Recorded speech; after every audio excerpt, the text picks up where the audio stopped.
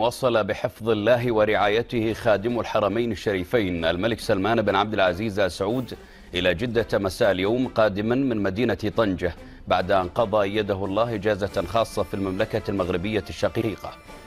ولدى وصول خادم الحرمين الشريفين مطار الملك عبد العزيز الدولي كان في استقباله حفظه الله عند باب الطائرة صاحب السمو الملكي الأمير خالد الفيصل بن عبد العزيز مستشار خادم الحرمين الشريفين أمير منطقة مكة المكرمة. وصاحب السمو الملكي الأمير مشعل بن ماجد بن عبد العزيز محافظ جدة وصاحب السمو الملكي الأمير محمد بن سلمان بن عبد العزيز ولي العهد نائب رئيس مجلس الوزراء وزير الدفاع